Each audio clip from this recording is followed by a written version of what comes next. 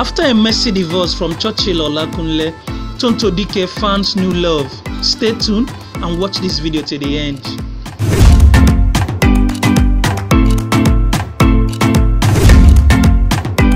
Popular Nollywood actress Tonto Dike has a new man.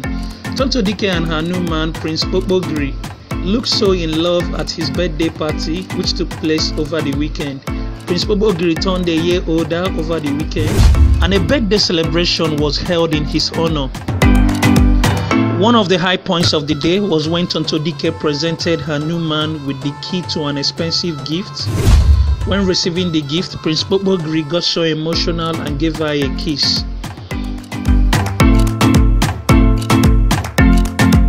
Tonto Dike also penned a very heartfelt message to Prince Kpokpogri and called him the love of her life and thanked him for making her a better woman.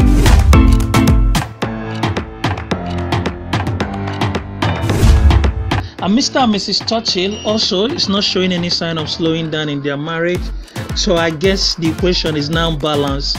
Alright guys, that's it for today's video. Please before you leave, I get a lot of DM people asking me to teach them how to blog, okay?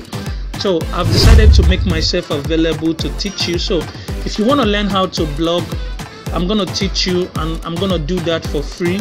Is a way to encourage you, is a way to support you to do something for yourself, alright?